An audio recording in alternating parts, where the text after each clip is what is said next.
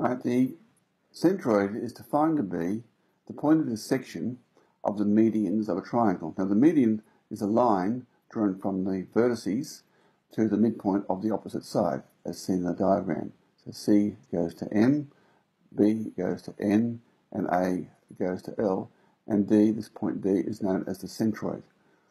Now, to work out the uh, coordinates of that centroid, first I have to do is work out the equations of two of the lines. Now, first of all, I'll work out the equation of the line MC.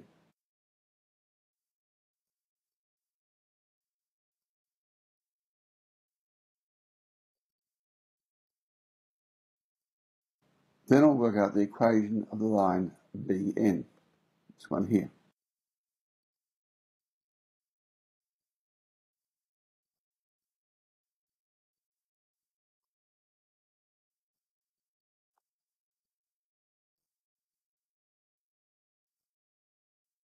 And then we'll solve these equations simultaneously. Alright, now we'll solve these simultaneously, just equating the two.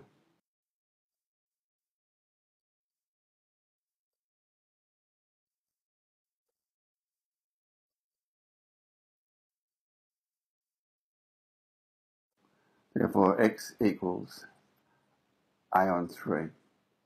Now we'll substitute that back into the, the first equation.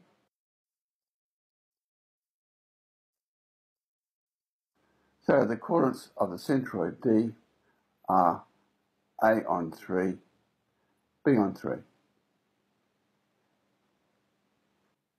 Now the, the centroid divides the median, this median, CM, and the other medians as well, in the ratio 2 to 1. Now, just have a look at that. See how that works. You, you'll see these uh, triangles are similar. That is triangle CMM dash and CD dash. And so we can see that this distance here, CD dash, is A on 3. And we can see this distance here is A on 2, that's Cm dash, is equal to A on 2. So this distance here, D dash, N dash, is a difference. That's A on 2 minus A on 3, which becomes A on 6.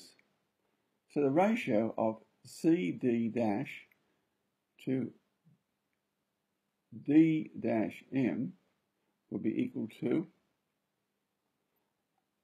a over 3 to a over 6, which is 2 to 1. And you can go and prove this with the other ones as well, but all the ratios from the vertex, right, to the centroid, to the midpoint of the opposite side, all are in that ratio 2 to 1. And we'll use this relationship to show the more uh, general case when these vertices are not in these positions, but they're moved away from, from the um, coordinate axes.